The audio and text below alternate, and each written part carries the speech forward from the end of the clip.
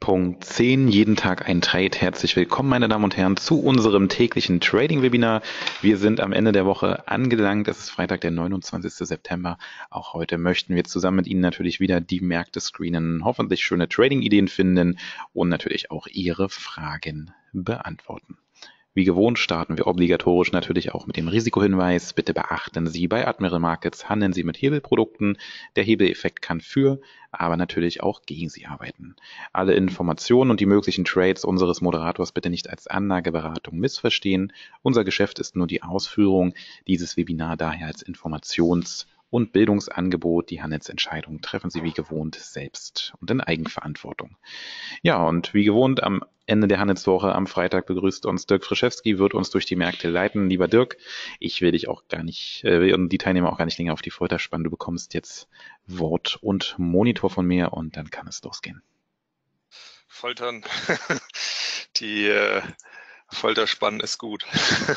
so, ich hoffe, man kann mich gut hören und ähm, sofern man auch den Monitor sieht, dann wäre das alles schon Genau, perfekt. alles perfekt. Wir sehen dich und hören dich.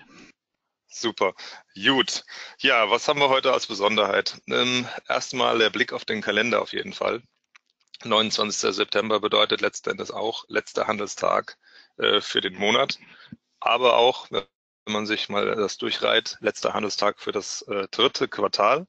Also mit anderen Worten, der Oktober ist also gleichzeitig nicht nur Monatsbeginn, sondern neuer Quartalsbeginn. Das ist vielleicht auch nochmal ganz interessant. Warum auch die ein oder anderen Währungspaare heute auch ein bisschen schon nochmal gegensteuern, äh, im Gegensatz zu den Bewegungen, die sie jetzt die letzten Handelstage so vollzogen haben beispielsweise auch der Euro, der ein bisschen hier schon mal über die 1,18 gelugt hat und auch das äh, Währungspaar Euro-Pfund, das hier in Richtung schon mal 0,88 nochmal nach oben zurückgelaufen ist. Es sind ein paar schöne äh, Angebote in den letzten ähm, 30 Minuten da quasi gewesen, hier auf sogenannte Counter-Trend-Szenarien zu setzen.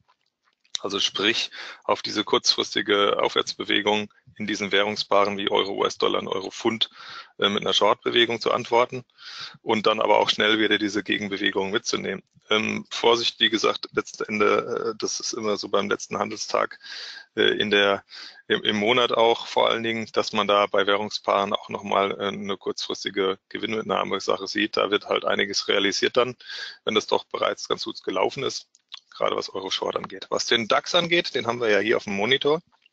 Dazu zunächst einmal, einmal äh, erstmal eine äh, ganz andere Geschichte nochmal hier äh, komplett frei machen, damit der Chart ein bisschen mehr ähm, zu sehen ist. Wir haben ja hier im Bereich dann auch äh, des Navigator, Navigators, haben wir hier ja äh, die verschiedenen Möglichkeiten, uns Dinge reinzuschalten.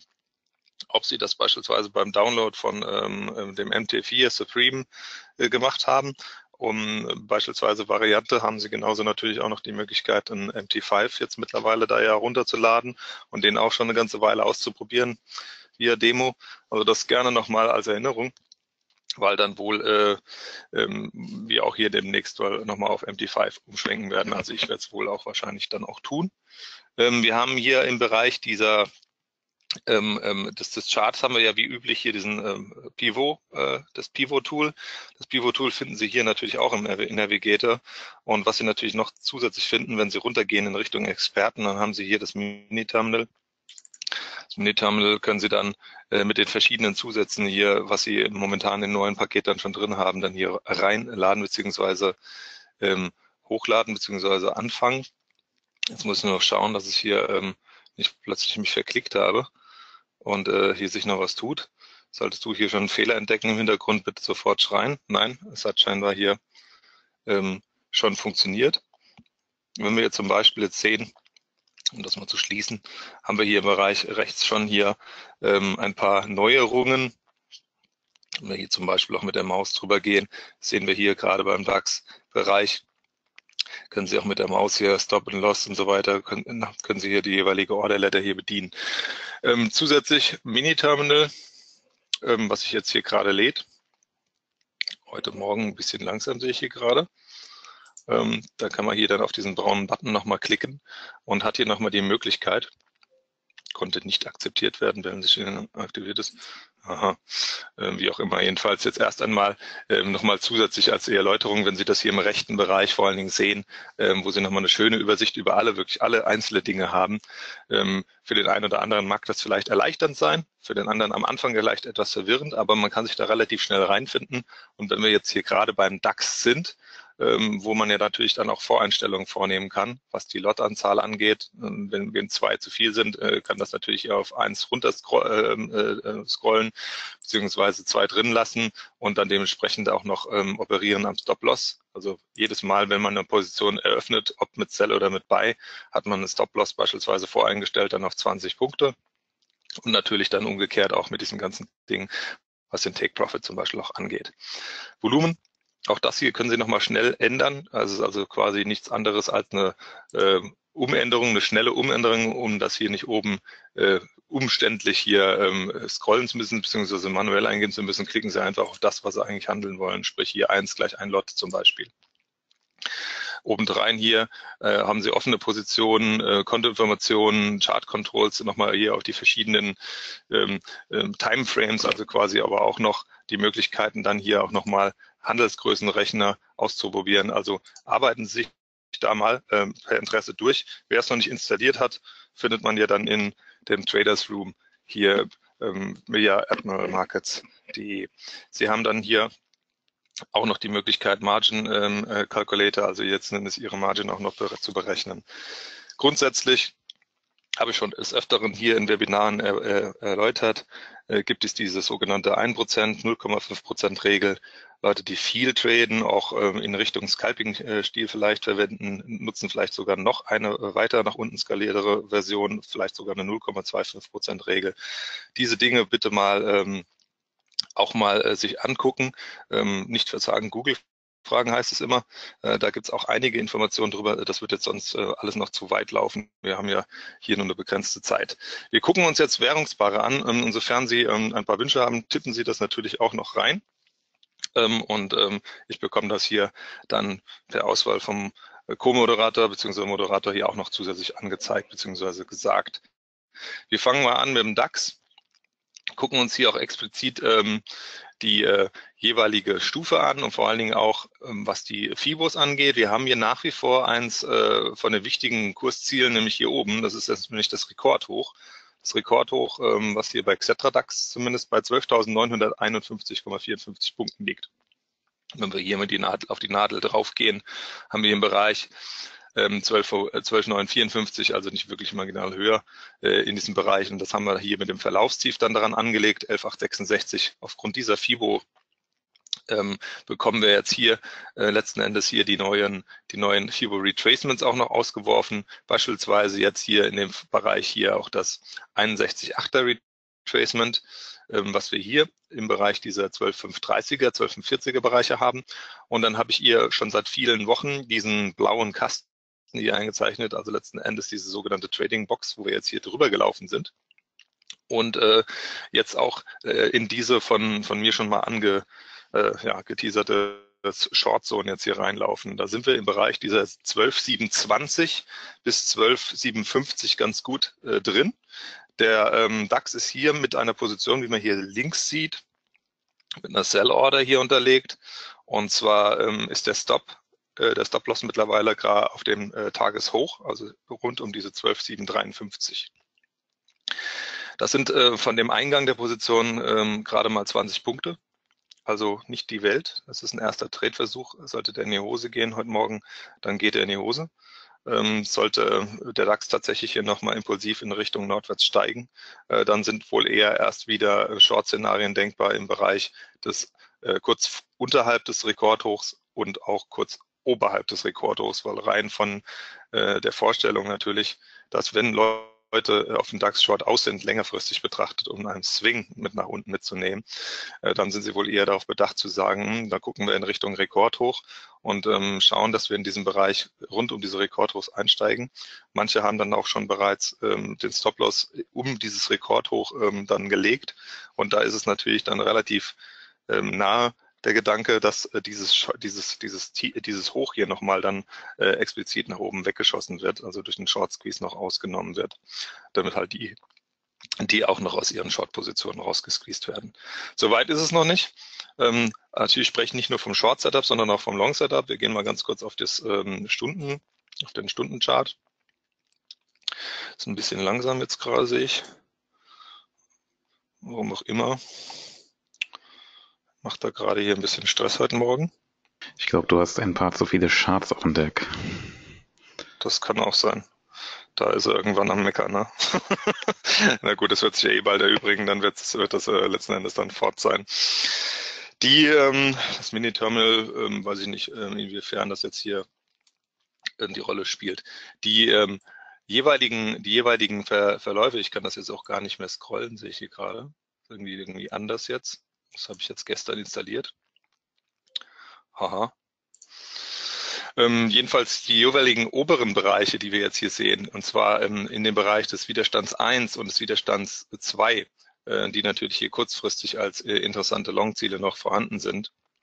Die kann man natürlich jetzt noch angehen. Was jetzt hier äh, heute Morgen von der volkswirtschaftlichen Datenseite zumindest schon reingekommen ist, sind beispielsweise die ähm, die Arbeitsmarktdaten von Deutschland für den September, die Arbeitslosenquote, also die Arbeitslosenrate, Entschuldigung, ist auf 5,5 Prozent ähm, hier reingekommen. Also nochmals besser. Ähm, da kann man ähm, überhaupt nicht meckern und aktuell von der politischen Seite zumindest auch sieht äh, das doch danach aus, dass auch da der DAX vielleicht noch ein bisschen, ein bisschen ähm, Feedback noch bekommt, obwohl die äh, Regierungskoalition, die da äh, demnächst ähm, am Drücker ist, die formiert sich so langsam. Also ähm, man darf auch soweit wohl auch sagen, dass die Herrschaften wohl auch besser äh, eine, Re eine, Regierung zustande bringen, weil wenn sie es nicht zustande bringen, wäre das nicht nur ein schlechtes Zeichen, sondern dann würden sie wahrscheinlich bei den Neuwahlen noch schlechter abschneiden. Äh, Von daher wegen wäre das wohl auch nicht für, äh, in ihrem Interesse. Also man wird wohl versuchen, hier ähm, dort eine Koalition ähm, à la Jamaika-Bündnis zu, zu, zu schmieden. DAX ähm, ist letzten Endes hier im Bereich dieser dieser 1237 hier auf diesem Niveau relativ schon stark überkauft auf länger Frist.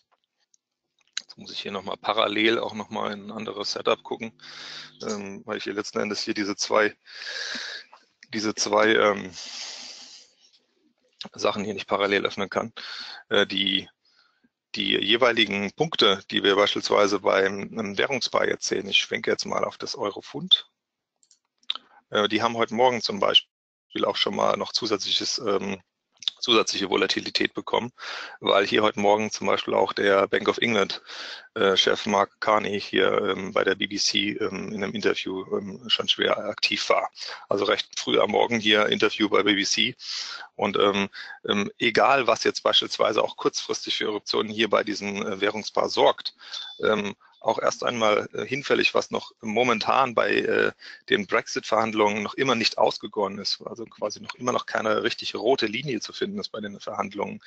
Ähm, das Währungspaar wird ähm, auf ein Stück weit erst einmal äh, von den Zinsunterschieden dann weiterhin getrieben sein. Das heißt also, wenn man hier davon ausgeht, dass in Richtung Dezember tatsächlich oder vielleicht sogar, um Gottes Willen, kann ja auch ein Stück weit vorher sein, aber jedenfalls eher wohl in Richtung Dezember ein Zinsentscheid hier bei der Bank of England, ähm, also eine Zinserhöhung auf 0,50 Punkte äh, Prozent ähm, äh, bringt, dann kann man schon davon ausgehen, dass der Devisenmarkt hier auch ein Stück weit das hier versucht vorwegzunehmen.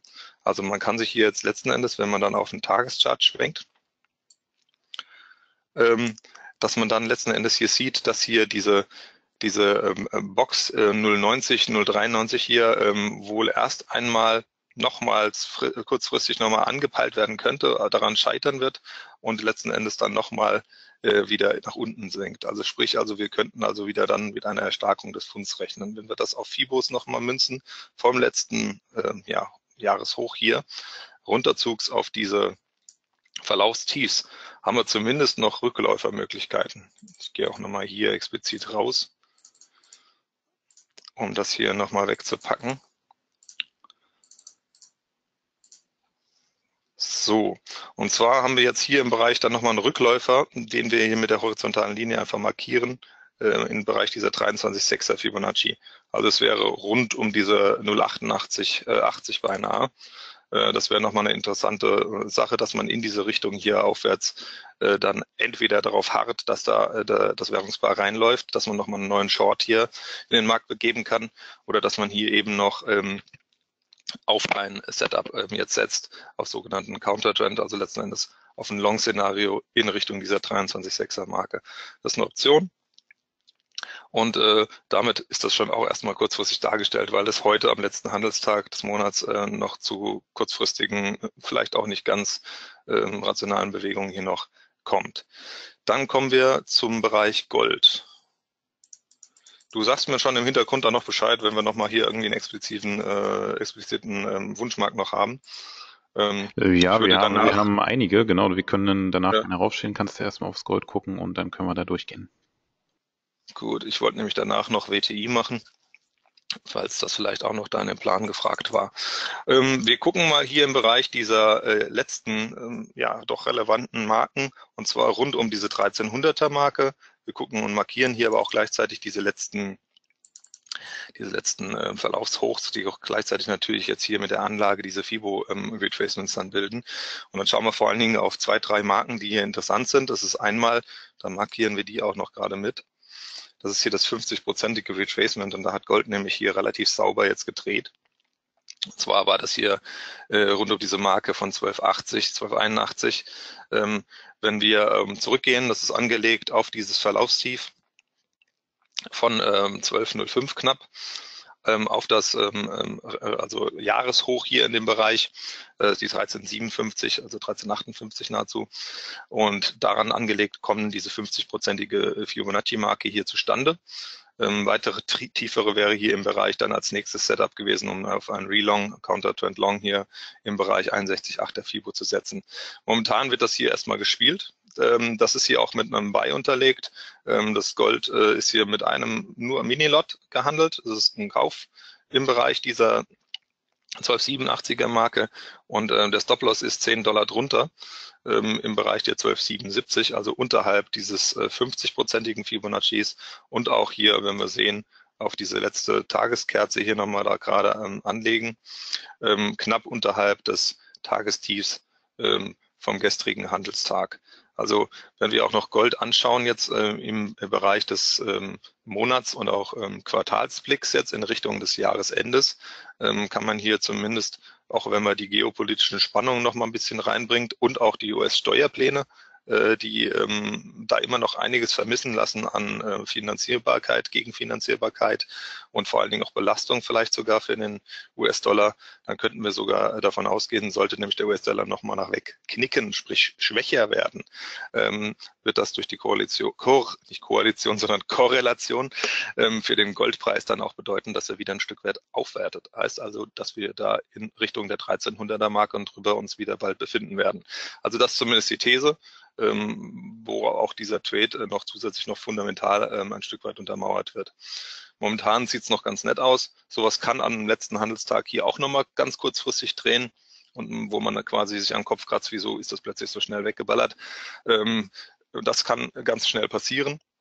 Wir lassen es jedenfalls erstmal jetzt mit diesem 10, Punkt, äh, 10 Dollar Stop hier und ziehen den relativ schnell nach, sofern wir schon mal in die 1290er langsam kommen, dass wir hier schon anfangen, darüber nachzudenken, den möglichst schnell dann wieder auch auf den Entry zu ziehen, um auch nicht mehr hier irgendwelche Punkte, Cent, Dollar zu verlieren.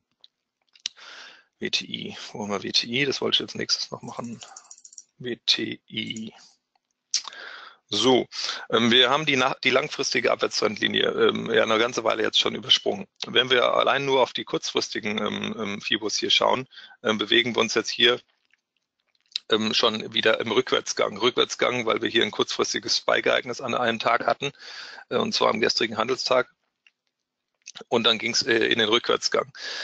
Ähm, was ist denn dahinter? Was kommt da für äh, Fundamentales äh, über die Ticker gelaufen? Ähm, gut, auch da ist es vielleicht ganz interessant, wenn man sich mal überlegt, ähm, Sie sind US-Ölpräsident, äh, ja, US-Ölproduzent und, und auch US-Gasproduzent und Shale-Gas, also Schiefergas, Schieferölproduzent und sie freuen sich natürlich über diese letzte Bewegung hier, die Sie hier gesehen haben, äh, die sie ja quasi von fünf, rund 45 auf äh, nahezu 52 drüber kurzfristig hier geschwappt hat und ähm, freuen sich über diese aktuellen Preissteigerungen. Und da können Sie sich natürlich vorstellen, dass Sie möglichst versuchen, auch bei diesen Preissteigerungen äh, davon äh, zu profitieren zu wollen. Also Sie, Sie versuchen zumindest dann auch in diesen Bereichen dann wieder mehr zu produzieren. Gleichzeitig nagen Sie dann da, bohren Sie wieder an Ihrem eigenen Untergang, nämlich je mehr Sie dann produzieren, umso eher wird der Preis dann auch schon wieder ein Stück weit in Richtung Süden fallen. Also so ein bisschen natürlich äh, eine kranke Sache. Ähm, genauso mit den OPEC-Geschichten, wenn man dort äh, diese Produktionskürzungen, wie ich schon öfters erwähnt hatte, dann eben durchspielt, dass man da halt eben auch Produktionskürzungen durchsetzt auf OPEC-Seite, aber auf der anderen Seite in den USA dort dann wieder der Hahn weiter aufgedreht wird und versucht wird, dem äh, diese Lücke gerade wieder aufzufangen.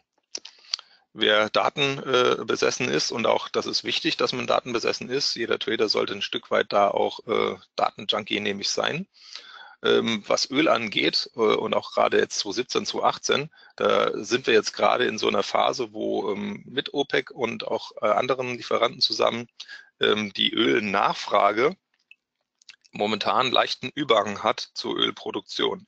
Also das ist eigentlich ganz nett, deswegen auch hier ein bisschen zu erläutern, dass der Ölpreis tatsächlich auch fundamental unterlegt ein bisschen steigt. Äh, wenn wir dann in Richtung 2018 schon gucken, was die Prognosen angeht, ja, dann sehen wir dann schon wieder, dass dort äh, bald wieder ein Überhang ähm, äh, dort sein wird. Ähm, selbst wenn diese OPEC-Produktionskürzungen dort zutage kommen und zustande kommen, so rum. Also das sind alles nochmal ein paar Punkte, die dann natürlich typisch wie bei jedem Rohstoff und bei jedem überhaupt Handelsgut äh, eine Rolle spielen. Ähm, Angebot und Nachfrage sind natürlich da auch nochmal ein Stück weit äh, dort von Interesse. Politisch haben Sie mit Sicherheit mitgekriegt, ähm, kommt da rein beispielsweise so solche Dinge wie ähm, Unabhängigkeitsbestreben von Kurdistan. Ähm, das ist eine erdölreiche Ecke und das äh, gibt Trubel zwischen Türkei, Iran und Irak in diesen Bereichen. Ähm, obendrein natürlich, weil die auch äh, jeweils mit den Volksgruppen in ihren eigenen Ländern natürlich dann auch da äh, möglicherweise durch Stress geplagt sind.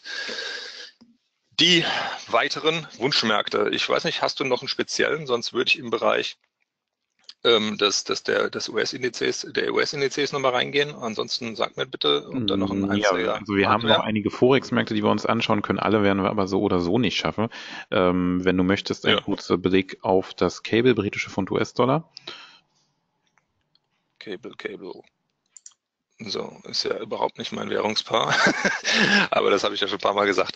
Ähm, wir gucken zumindest weiterhin, also ist ja sogar, wenn wir hier in die alte FIBO-Bereiche reingucken, die ich auch beim letzten Mal ähm, hier schon aufgelegt habe, äh, sind wir tatsächlich hier in diese Bereiche vorgedrungen, die die Projektionen hier von 161,8 hier bei 135,70 hier nach oben durchlöchert haben und äh, wir haben uns wieder nach unten abgesetzt.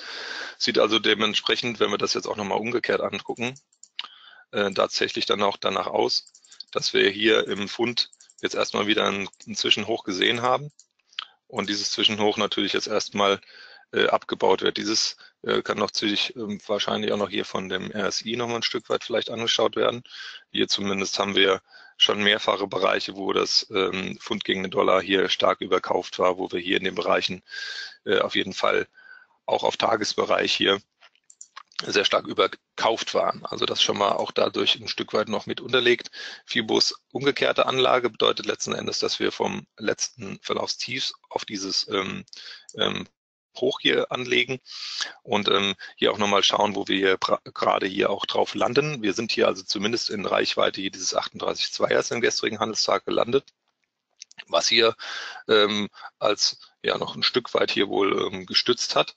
Also wir sind hier im Bereich dieses Tiefs, wo wir 1,3342 hier sehen zumindest auch nochmal äh, mit einem relativ breiten oder weiten, sage ich mal, ähm, Stop-Loss-Level hier ausgestattet aus vom Markt, allein nur von der Candle jetzt hier, von der Tagescandle, wenn man das auf Tagesbasis handelt, beziehungsweise auf Tagesbasis hier auch äh, die Analyse betreibt.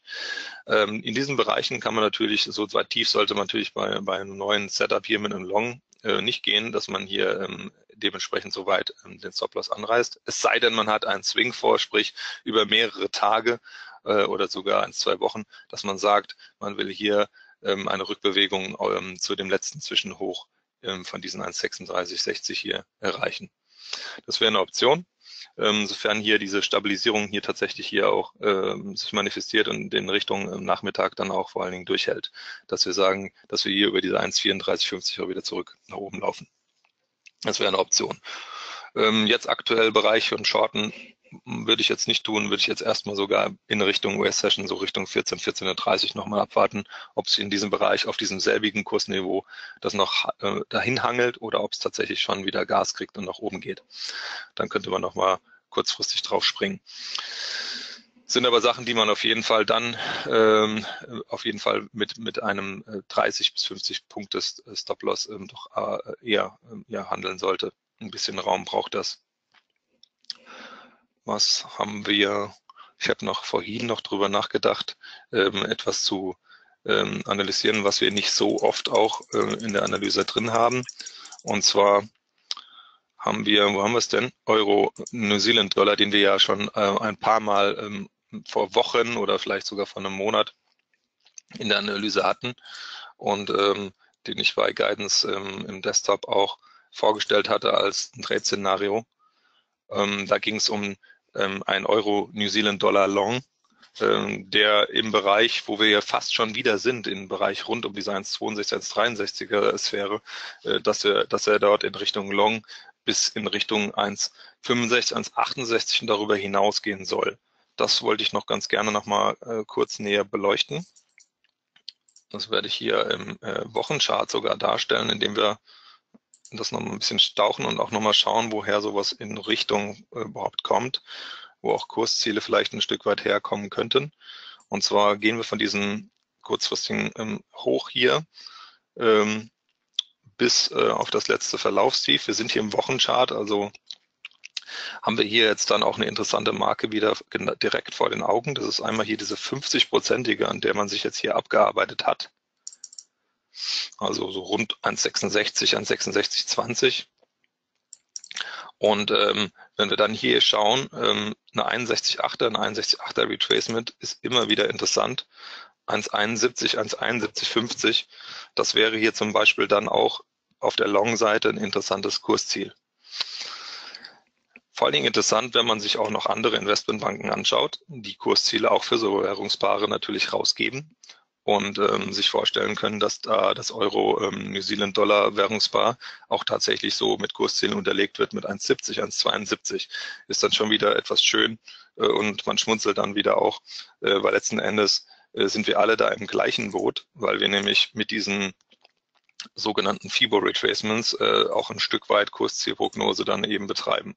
Heißt also zwischen 1,70 und 1,72 sind wir halt eben letzten Endes mit diesen Kurszielen, die man so hört, direkt um diese 61,8er hier.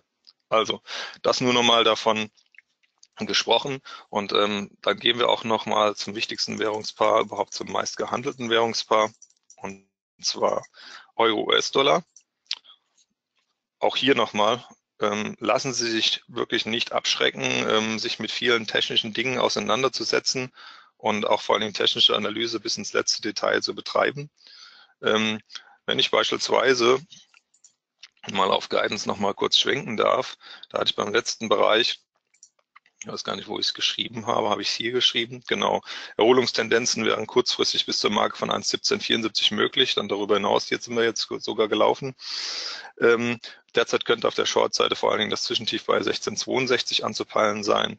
Also wenn wir jetzt dann schauen, 1,1662, wo hat der Kerl das schon wieder her? Ähm, wir sehen ja letzten Endes dann, dass wir einfach aus dem Chartbild, Tageschartbild, dann noch relativ dann auch schnell uns Verlaufstiefs heraus, raus, ja, picken können. Und da sind wir hier mit diesem Verlaufstief, äh, mit dem letzten relevanten Verlaufstief, ähm, dann hier ganz gut bedient.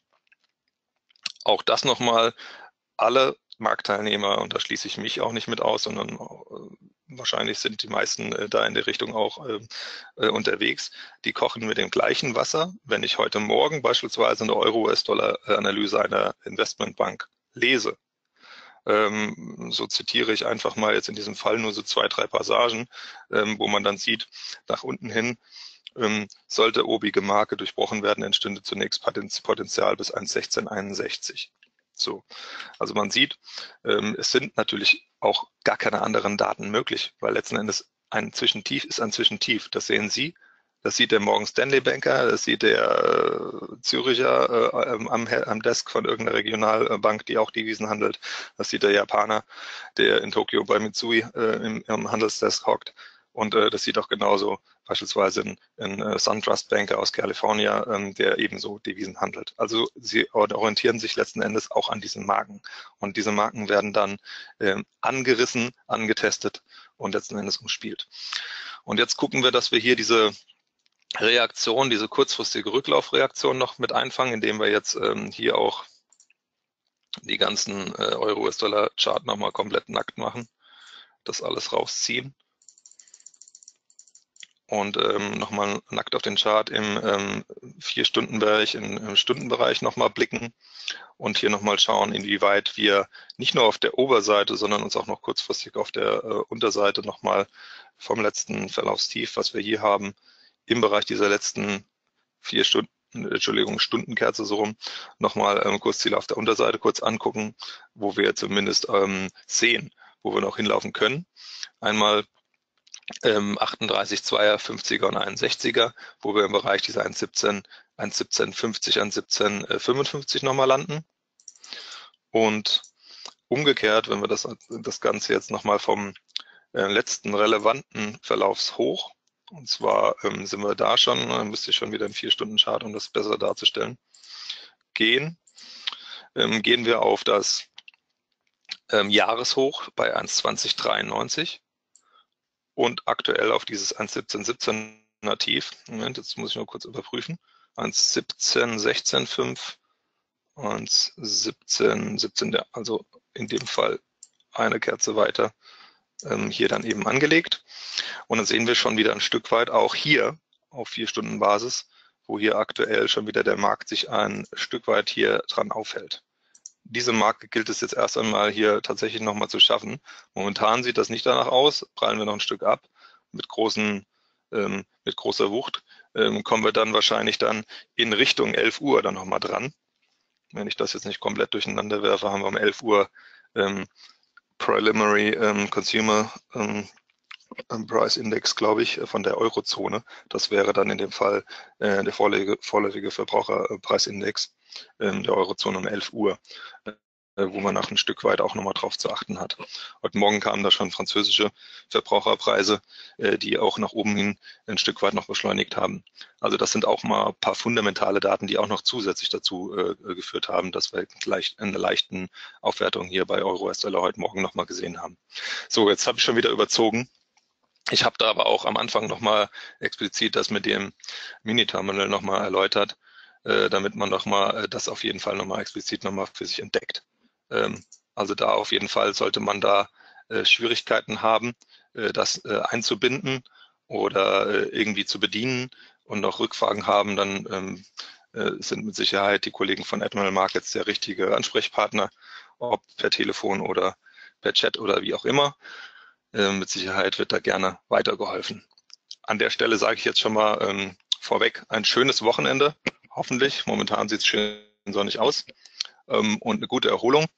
Und vor allen Dingen ähm, denken Sie daran, dass wir ein, eine kurzfristige Unterbrechung, Handelsunterbrechung am Dienstag, zumindest für, für den deutschen Markt haben. Dort ist Tag der deutschen Einheit, da fällt äh, der Handel letzten Endes für den DAX aus.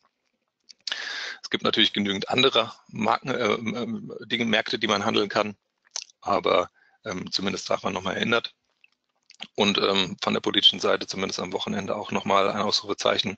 In Katalonien ähm, ist dieses Unabhängigkeitsreferendum. Äh, es wird mal spannend sein, inwieweit sich das jetzt auswirken kann.